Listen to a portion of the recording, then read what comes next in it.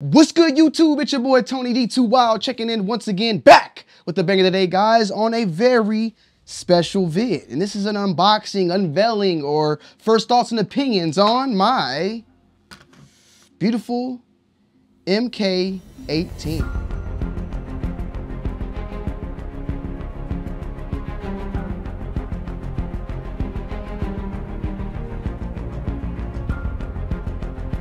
Now, guys, we have here today my MK18.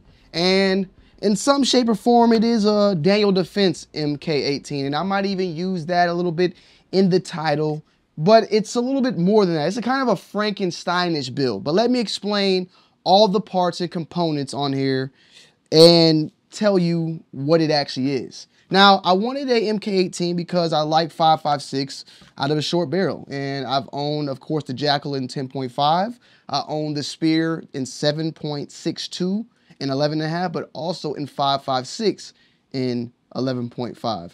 Five, you know, 11.5. I've yet to go lower than that. Well, actually, maybe, my, bad. I disregard that. I do have also the Galil, which is a 8.3 inch barrel.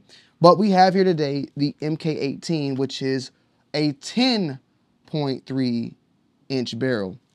And the MK18 has been used in the Army for quite some time. There's been different versions, the MK18 Mod 0. This is more so in line with the Mod 1, with the EOTech, the Daniel Defense rail as far and as well as barrel, and a lot of different other components. Now, I had went out and got a couple of Palmetto State Armory lowers and had a few of them SBR'd a while back, this being one of them. And I had this one, you know, SBR'd, and I wanted to get a Daniel Defense gun really bad. Stay tuned. You'll be seeing some more actual full-on Daniel Defenses in the future. Uh, with that being said, though, I wanted this to find an upper. There were our, you know, BCM uppers that had the MK18 layout for, I think, 10.5 inch barrel and all that as well with the rail. But I was able to find and source out a stripped MK18 upper from someone on Reddit. Now, this is what I ended up getting. And I got this for $600, this whole entire upper. Now, it's a little odd because the individual who had it, he has the Daniel Defense rail, the barrel on the inside of here. And let's just break it down from tip to butt. Let's just break it down from tip to butt. The barrel here, of course, is a Daniel Defense 10.3 inch barrel. We had a Streamlight. This is the XL ProTac the XL, the big version. We also have the Daniel Defense front sight on the front of that there, light with the touchpad, of course. We have the rail is also all together with the actual barrel, which is, of course, the quad rail from Daniel Defense. We have some of these little, you know, uh, forgot the name of these, the paddings, the Picatinny covers. Salutes to uh, Classic Firearms salutes to Mag Dunk Clint, man. I got my inspiration of this whole entire build from him, so I'm not gonna take that away from him whatsoever. Instead of going with a Tango stubby, I went with a B&T stubby grip. I like this one a lot. So it's real nice, quick release on there as well. You can flip it out and take it right off very, very easily. So Daniel Defense barrel, Daniel Defense rail. The upper is where things get a little odd and weird.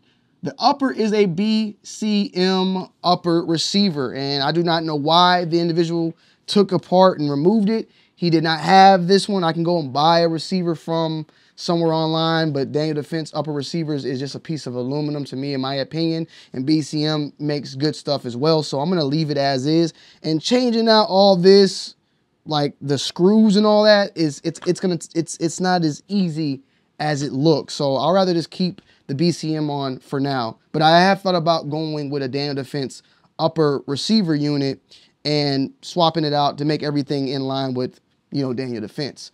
The inside here, of course, we have a BCG from Daniel Defense. So it has the bolt carrier group from Daniel Defense, as well as I think this is, yes, a Daniel Defense charging handle as well. On the front, you have, of course, as stated, the Daniel Defense front sight. The back sight, however, is a Magpul, and this is a newer version of the Magpul.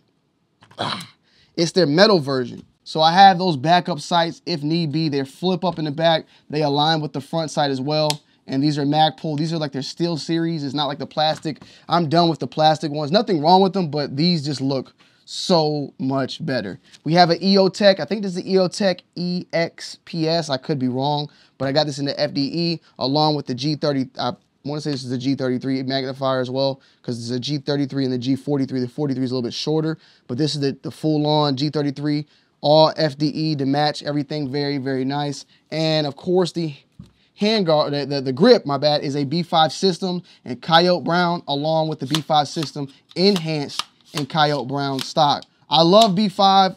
I don't know what it is. It's something about the angle. It's something about the grip, the Coyote look. Everything about that, like I've been replacing B5s with a lot of my ARs lately. There's something about this grip right here. I love the grain feel to it. I love the look of the Coyote Brown. It matches really well.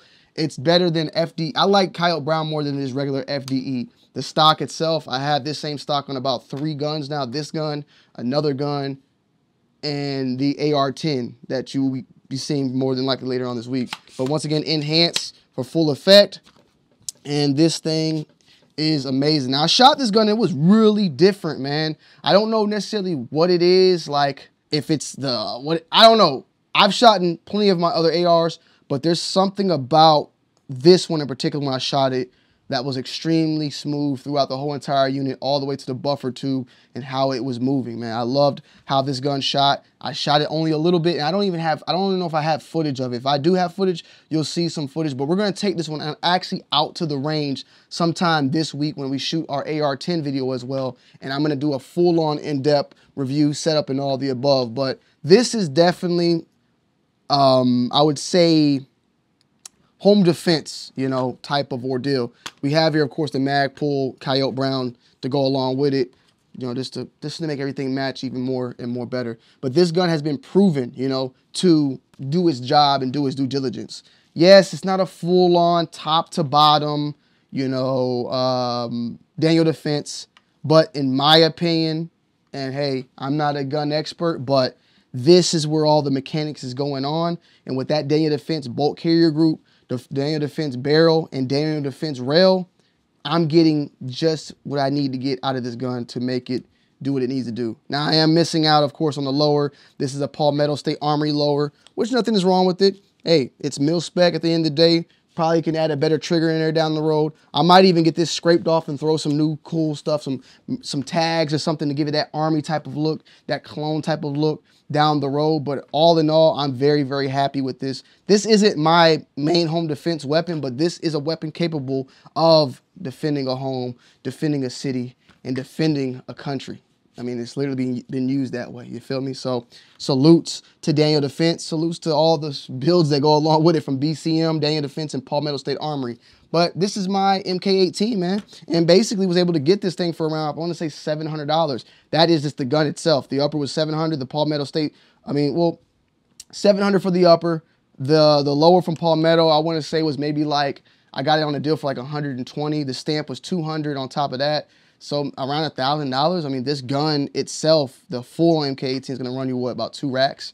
So you know, not a bad look overall in the uh, collection piece. So stay tuned. This this thing is it's the real deal Holyfield. You feel me? It's the it's the real deal Holyfield. But stay tuned because if you guys gonna be like, man, you got Palmetto with D. Hey, I got some Daniel Defense coming in for y'all. All right, real real soon. I got some some big boy Daniel Defense coming in, so stay tuned for that. We got more coming in full effect. We're gonna get that AR-10 video out for y'all ASAP Rocky. Hopefully, I was supposed to go today, but I got videos to shoot today, so I'll get that out to you guys tomorrow. And uh, I said tomorrow, later on this week. Okay, I love y'all. I appreciate y'all. Here is my MK18 Daniel Defense.